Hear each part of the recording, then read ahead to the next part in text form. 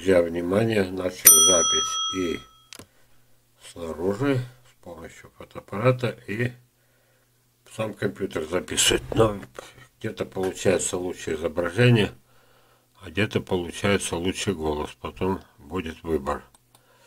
Так, смотрите. Э, все мы обязаны этому фильму. Он будет почти не мой. Почти. Дело в том, что мне прислали, я когда-то увидел, э, поплакался на э, своем вебинаре, что вот, мол, замечательная, талантливая, не вот это, нет, нет, а э, уральские пельмени сделали замечательный, талантливейший, смешной фильм. Вот, и он есть, э, ну, где его найти. А мне нашли и прислали его. Вот он. Вот. И мы его целиком, я его решил записать, пере, перезаписать. Вот почему? Так надо. Почему? Потому что добавляются мои комментарии. Итак, что такое современное садоводство? Современное садоводство. Один из примеров, я его тоже показывал, критиковал в, в одном из вебинаров. Вы представляете, семь главных дел в саду в феврале. В феврале. Оказывается, в феврале надо резать деревья. еще шесть важных дел. И каждое дело требует купить, купить, купить, купить, купить, купить. Я не нашел самую лучшую фотографию, ну, память подводит. Там такая же дама стоит, и, а, и там как раз телеканал э, «Усадьба». Там перед ней их штук 50 флаконов всевозможных, все. И она все это говорит, говорит, чтобы и, и, и работать примерно как этот удав К.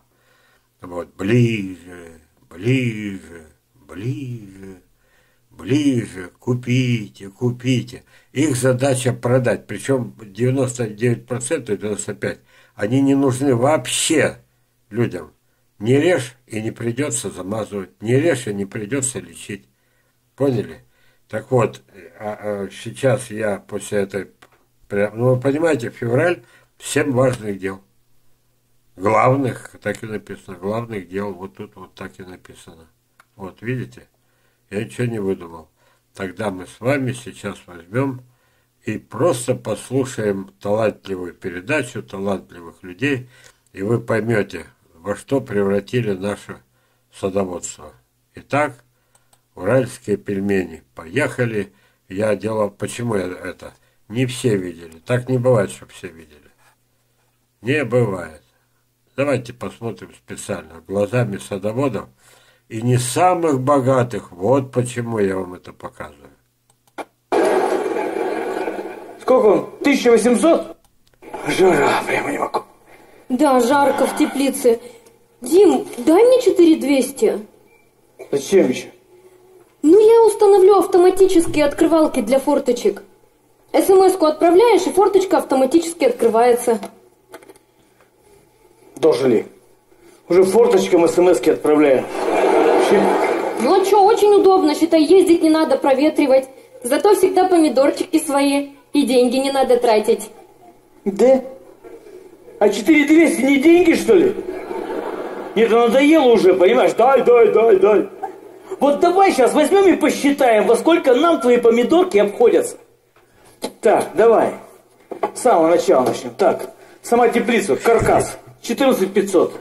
Так, так, поликарбонат, 4 листа. 8 тысяч я тогда заплатил за него. Так, доставка, 1600. Какая доставка? Ты сам все на своей машине довез. Да? Но у меня 2 метра поликарбоната из, из багажника торчало. Эй, полторы тысячи штраф за негабаритный груз. Ну, полторы тысячи, не тысяча шестьсот. Тысяча шестьсот. Я еще у Гришника за сто рублей красную тряпочку купил. Дальше что у нас? Установка теплицы. Мы ее с соседом вдвоем ставили. Он выпил шесть бутылок водки. Вы выпили. Хорошо, мы выпили. Он выпил одну бутылку водки. 300 рублей. Дальше поехали. Навоз в теплицу. А что навоз? Он уже был? А он был снаружи теплицы. У навоза, знаешь, ног нет. Тысячу рублей я отдал таджикам. Дальше поехали. Что там? Семена. А что семена? 20 рублей пакетик. Один пакетик 20 рублей. Нам же надо было весь помидорный спектр выкупить вообще. От дамских пальчиков до бычьего глаза. Бычьего сердца. Простите. Я не совсем разбираюсь в этой помидорной говядине вообще. Итого, значит, 3000 на семена. Дальше, что, это, это во-первых, семена. Во-вторых, я вот этого посчитаю гнома, который должен стоять на входе в теплицу и охранять помидорки от негативной энергии. Сколько он? 1800? Гном. Мне кажется, живые дешевле вообще гном. Так, что дальше? Торфяные горшочки для рассады. О. Ну, что там? 120 рублей 60 штук. Угу. Мы же за ними на вторчермет ездили. В нашем магазине они на 6 рублей дороже. Ну, съездили, сэкономили зато. Сэкономили, да? Еще полторы тысячи штраф за негабарит.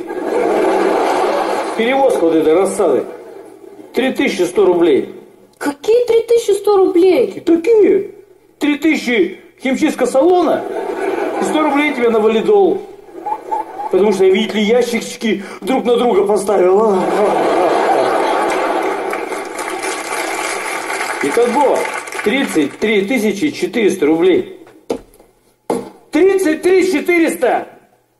Это я еще колышки не посчитал. А колышки-то что? Ты их сам сделал из старых досок. Вот именно.